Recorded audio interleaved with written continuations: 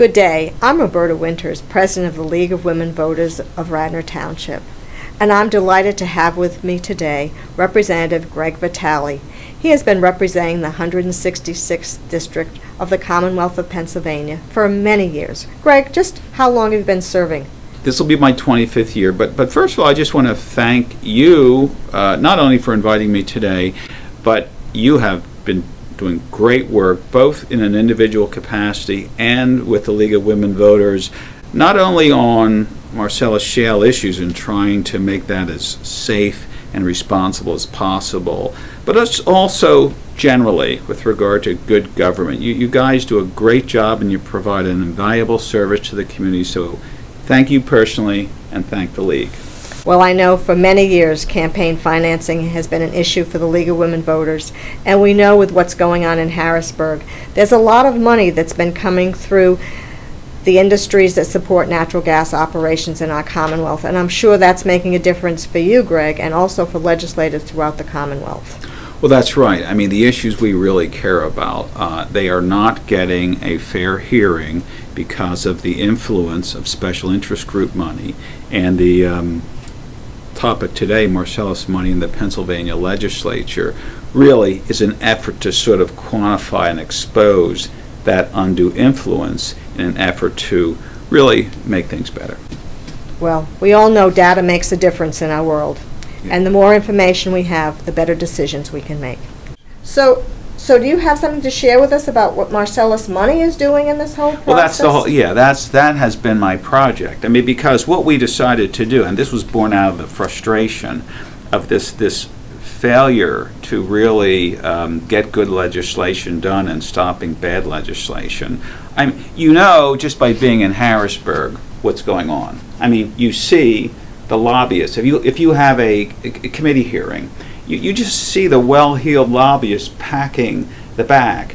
Every time you go through a congestion point in the Capitol, you see them just standing there with their iPhones and, and so forth. You see the lobbying that goes on. Um, you know the money that's being given. And, and you know that there's this very strong relationship about things like not being able to get a severance tax gun, uh, not being able to get drilling regulations passed, not being able to do this other stuff. You know there's this strong uh, correlation. And, and, so, so, so what I try to do is just quantify what to me is very obvious intuitively. So what we've, what we've done is this, and before I go any further, I want to say um, Common Cause of Pennsylvania has done a great job in gathering this stuff. Uh, PA Conservation Voters has done a great job in gathering this stuff. And we have built on what they've done. We've used some of their data, we've taken it forward, we've used some of their ideas, we've expanded them. But people like Barry Kauffman, who you know, and others have just done a great job here. So we've sort of moved what they've done forward. So um, th this is what we've done, starting with their data. We looked at all the lobbying reports uh, that, that, that lobbyists they've identified uh, related to drilling. All the reports, they have to file quarterly reports, so all their lobbying reports for 2016 and 2015. We also looked at all the campaign finance reports for 2016. We all also looked at every legislator's um, statement of financial interest, their ethics statement, and we tried to just sort of analyze the flow of, of money. Yeah, so that's a lot of work.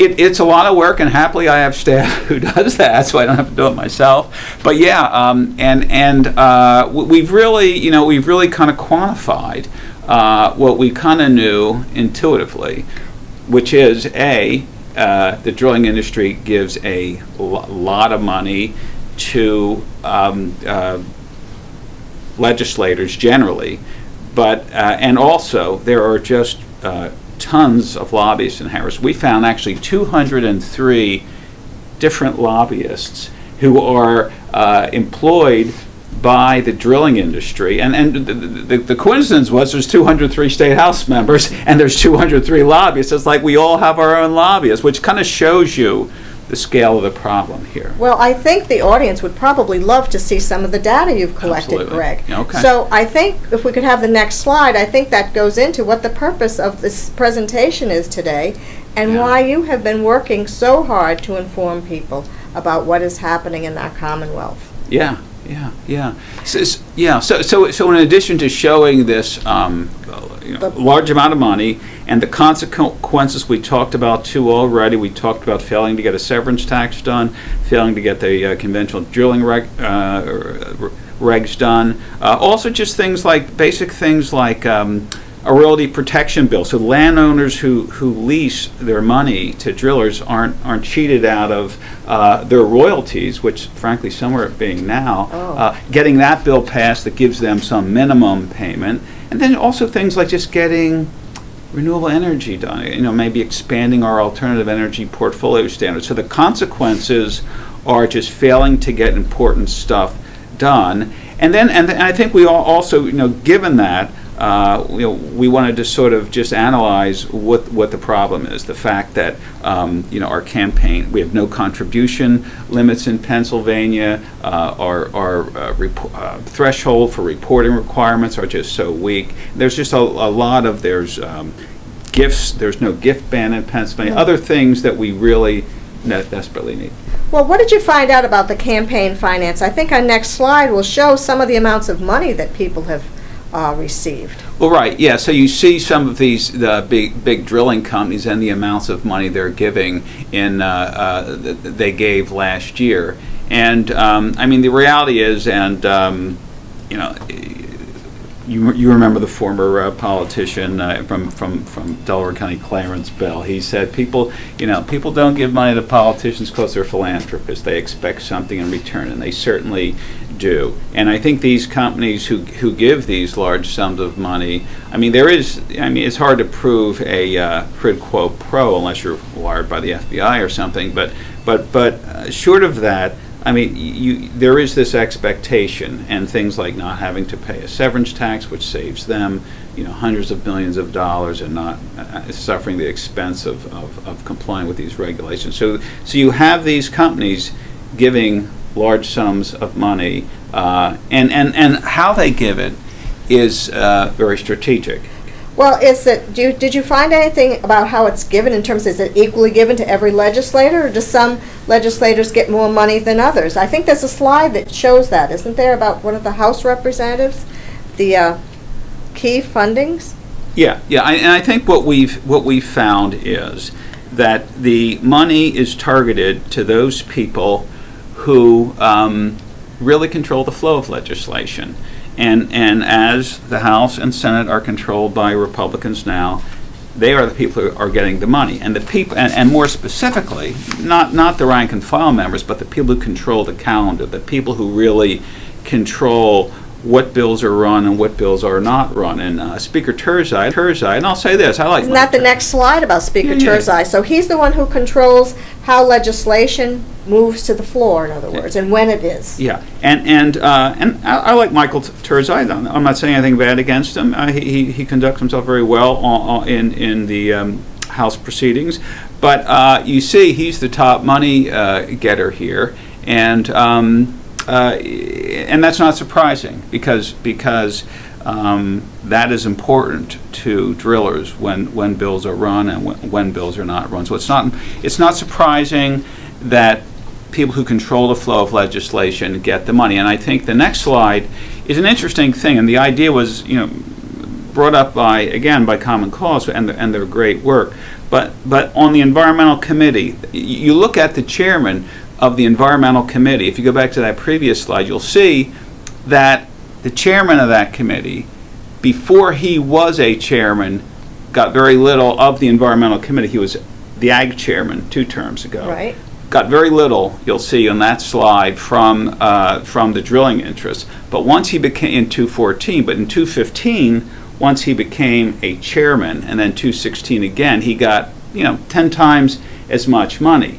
Bec- Because they, they know, they, they give the money to people who control the flow of legislation because they know the effect money has. And I think one of the most important bills that went through our committee, Environmental Committee, when I was on it, uh, was that bill that killed the conventional drilling regulations. That was Senate Bill um, 279, which eventually um, became law. So I mean, it's just it, that slide just il- illustrates the point that they give the money very strategically to people who control the flow of legislation.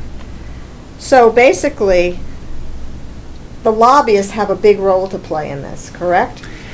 And I think that was one of the mm, things you looked yeah, at as yeah. well, was the lobbyists, right? So you've got the strategic money coming in to our representatives, and then you have the lobbyists. Yeah. So would you, so would you like to, you you mentioned there were 203 lobbyists. Yeah. And that's what that slide shows. Yeah. See, yeah. Yes, yeah, yeah, yeah. But it's almost like two sides of the same coin. I mean, on, on one side is the campaign contributions that come in from the PACs related to the drilling interest, but on the other side, it's the ac- actual lobbyists who don't give campaign contribution, but they do the wining, the dining, the meals, the golf games, the cigars, and all the rest.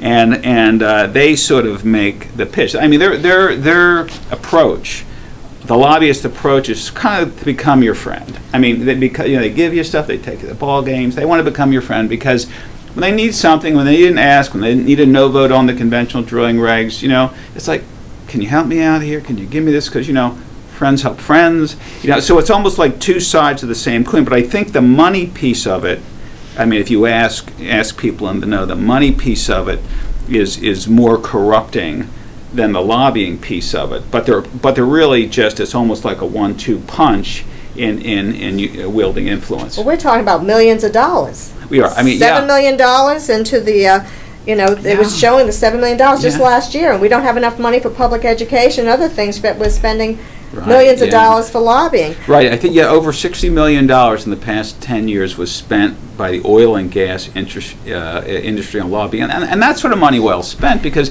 you, you, if you think about what they're saving by successfully lobbying and what they're forcing the taxpayers to pay, uh, I mean, uh, and, and, uh, and another slide in here somewhere shows um, if we had enacted the severance Right, tax a number of years up. ago, Mhm. it would be like, you know, by now, I'm sure it'd be like 1.5 b- billion dollars. It's, it's, it's some huge, huge sum of money. Well, these lobbyists that we've been talking about come, sometimes come from this Marcellus Shale coalition, so it's not necessarily an individual company like Sunoco or Consol, but they get together and, and lobby legislators, is that yeah, correct? yeah. Well, the Marcellus um, Coalition is just sort of this um, umbrella group who, who hire, who has four lobbyists themselves, and they they spent they, they have been spending at a clip of, of almost a million a year through 19, uh, 2015, and through an odd quirk, which I won't even get into, that somehow mysteriously dropped.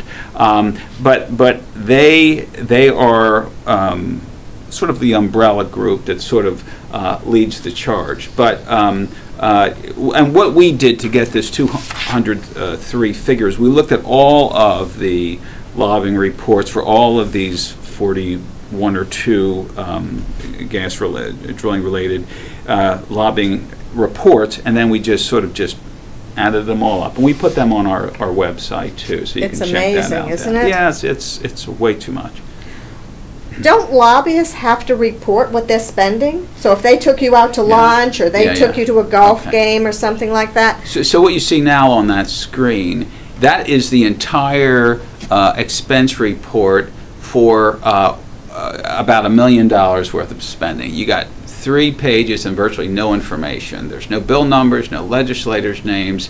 Um, this is all the law requires them to report. It's it's really um, wholly inadequate, and I think the big problem is the, the reporting thresholds are too high. When we passed that lobbying bill, oh, maybe 10 years ago, it was ballyhooed as this, you know, great reform. I voted against it because I knew exactly well, it was, it was the perception of reform. I mean, y- you, you, um, the threshold, um, I think it's 250 for, for, for gifts and, and, and, and 650 for. You uh, mean two hundred fifty thousand dollars or I'm, two hundred sorry. dollars? Two hundred, two hundred fifty dollars for gifts and two hundred, uh, six hundred fifty dollars for for meals, hospitality, and lodging.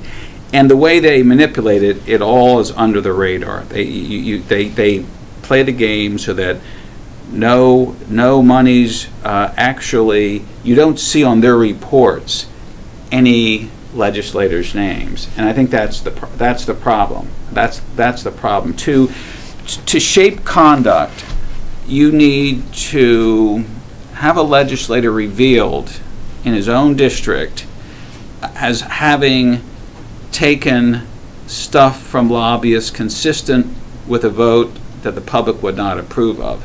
In other words, you, you need a you need reports that show um, you know what what you know what lobbyist is giving what amount of money to what legislator for what bill. And if you if that information were in the public, let's say we had a vote on the severance tax, Right. and, a, and a, let's say a Delaware County legislator voted uh, against it, uh, but he also that report showed that you know he was given these meals on this day for this bill because it's all in the reports, you know, and that was reported concurrently in the same news article that reported the vote. In other words, if, if, if that were really accessible and reporters in doing their job, reporting votes on that could just report, you know, their constituents say, you know, what do you mean you voted against this? Why, why are you taking, but you also went to the Phillies game with, with, with, with Exxon and, and, you know, it's, it's, then when you get stung like that as a politician, then that shapes conduct. But unless you can connect, but right now they keep it all under the radar, so you can't connect the dots. So, so that's that's the kind of thing you need. Well, don't legislatures, legislators have to report something too? I think the next slide shows us what some of the legislators have done. Doesn't that tell you who they've taken Yeah, money well, from? Yeah, again, so so, th- so so we have to. I have to. Every every you know legislator, House and Senate has to file what's what's known as a statement of financial interest. We file that every May, and it and it theoretically shows things like gifts, hospitality, transportation, lodging. But again, the reporting thresholds are so high that although you see it being given, you see the meals and all the rest. Um, and this is this is Dave Reed, the majority leader's report, and he would be a prime candidate for the, being the recipient of these things because he's one of the most influential guys up there. But that report shows nothing that he that he's reporting nothing for the entire year, and it's not because he received nothing. It's because the, the, the thresholds are so high that nothing was reported. And again, I like Dave Reed. Dave Reed's a nice guy. He's bright and, and all the rest. But you know, this his report shows a real problem. It shows that we need to um, lower. Well, we need to do more than lower the threshold requirements. Legislators should not be receiving gifts. Period. Nothing. And and a nice bright line. Lobbyists. The role of lobbyists are not to be our friends. Lobbyists have a very valuable role, Lob- and they have a constitutionally protected role. They're, they, everyone has a right to petition their government, and government works better when we hear everybody. We hear the drilling industry, we hear the environmentalists, we hear everybody. So we can just sort of sift through all the arguments, almost like a judge, hear both sides, and make our decision. They're entitled to do that, but they should be doing it in our offices during business hours. And, and they should not, there's no reason they ought to be buying us Phillies tickets or meals at one of those high priced restaurants in, in, in Harrisburg or buying us cigars. No reason for that at all. It all ought to be banned. And, and even if you don't do that, the, all, the backup approach is what they call first penny disclosure. In other words, um, everything, even a cup of coffee, if it's given, it, it ought to be reported. Um, Well, with all this money going around Harrisburg, Mm-hmm. does it seem to make a difference in the legislation that's passed or the policies that have got? What have you found out about that? Were the consequences of all this money, or is it just that it's flowing out there? Can we see? Uh, I think there's a slide on that, right? Yes. Oh, yeah, yeah, I mean, You- we you talked about the severance tax. tax, and, and uh, uh, this year, and I got these figures from the uh, um, uh, administration itself, l- losing 153 million, we would have gotten 153 million if we had a reasonable severance tax uh, this, this fiscal year that we're currently ending up. And that's, that's, that's still important because um, Governor Wolf uh, this year, uh, for fiscal year 17, 18, has proposed a 6.5% severance tax. And we, and, and we just desperately need the money. We have this $3 billion a year structural deficit. We, we need the money, and there's, and, and, uh, and the consequences of the influence of this drilling industry is we're not getting money we needed, and guess who pays instead? You know, me, you, and, and everybody else. It's we, we pay it, it because they don't. Or uh, we get less money than we need for things like you know education. Our classroom sizes are a little bigger than they should be. We're not getting some of the you know uh, extracurriculars we should be. You know, uh, our, our, our school taxes are higher than they should be. Everyone has to pay their fair share, and that's that's what's not happening, and it's not happening because of, of, of special interest group money. So you've mentioned that we've got problems with the, Mhm. the financing, we've got problems with the lobbyists, and it's Mhm. imp- impacting the legislature. What do you Mhm. see we could do to change it? I think you had a couple of slides on that. I think the next slide talks about one of the things we could change. Right, right, right. So, so um, again, we were talking about campaign finance reform and how we're only one of about 10 or 11 states that don't have contribution limits. Definitely ought to get them. And we have, um, bills are introduced every term that uh, do that. It, it's, a, it's, a, it's a tough lift. Uh, I'm not going to hold my breath waiting this term, although it uh, should happen. But, but one, one thing I think that is um, a much easier lift is making the state's campaign reporting database, make, making its searching capabilities much easier. Well, I think they have a slide on that too, don't Yeah, you? yeah. About how we can uh, improve the Pennsylvania Department of State Yeah. campaign finance search site because it's important. I know the League of Women Voters is always looking for ways to figure out, you know, information about candidates to help people make a good choice. Yeah, because I, you know, because we actually, and, and we sort of, uh, not only ha- ha- have good government groups like yourself and, and, and, and Common Cause talk to us about the problems they have with this, the search capabilities. They're really archaic in this world where you can do you know, so much with your own iPhone. Um, why the Department of State's site is so archaic. I mean, just the ability to, to do searches between uh, reporting cycles, or it, it's just really problematic. We sat down, actually, a local person, uh, Marian Schneider, is, is really has a, a key role in the Department of State on that. And we've met with the Department of State several times on this, and they're and they're they say they're working on it. Um, but just the ability to to use the reports that are out there to let reporters really quicker, quickly and accurately just see. Okay, uh, we, we just uh, just killed the uh, severance tax bill. Okay, let's let's see who's given this. You know, let's let's see how much the speaker has gotten from you know the, these groups. So, so you can do these real quick searches and reporting and just let the public connect the dots. It's and and and I think I think the interesting thing is I think one reason the Department of State is struggling with this is is because there's no requirement that campaign expense reports be filed electronically. You can choose to do paper reports or electronic reports, and um, because a lot of people do the paper reports, it really slows everything down. But in this day and age, unless you, you, you can get a hardship exemption or so forth,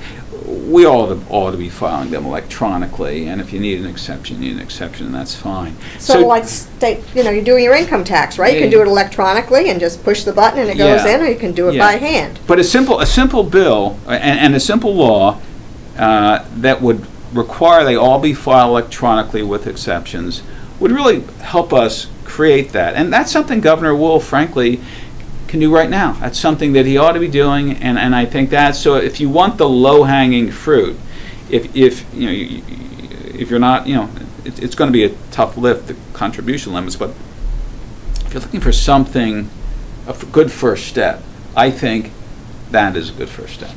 What about lobbyist disclosure? Is that a place you could go as well? I mean, you you certainly uh, should have these. Um, you I mean, we talked about the gift ban. Right? Uh, that that would be, I think, the simplest thing to do. The gift ban, uh, the first penny, or, or in the alternative, first penny disclosure, and also requiring their reports. To, again, we talked about which lobbyist is giving what legislator what gift for what what bill. I mean, if what, what, what we've, what we've done, as again, in that, that previous lobbying bill, we, we per- passed the perception of reform, and, uh, and that's what happens when you, when you do a bill that is just a pretend bill, you take the pressure off for real reform. So it's something that, um, right-thinking legislators ought to be, um, advocating for. And I think you mentioned before on this other, this final slide that lobbyists do have a disclosure, but in 2006, it was just like a sham bill. Yeah, I mean. And it didn't really do the enough. disclosure requirements, again, they, uh, it lets everything uh, fly, everything important to fly under Under the the radar. radar. Yep. Well, thank you very Oh, much, thank you. Keep up Representative your great work, yeah. I know, just, I was looking up the League of Women Voters position because, as you know, the League has positions that date back decades Yes. in terms of promoting good government. And so I looked last night and it said, "The League of Women Voters of the United States," that means local, state, and national levels, believe that the methods of financing political campaigns should ensure the public's right to know, which right mm-hmm. along with your line, combat corruption and undue influence, which we've seen, enable candidates to compete more equitably for public office, and allow maximum citizen participation in the political process. So as league members and legislators, we all agree that this is an important lift for all of us to work together to make a difference for good government in our Commonwealth. And again, I'd like to thank Representative Vitali for his time today and for his continuing efforts to do the right thing, not only for his constituents, but for our Commonwealth. Thank you. Thank you.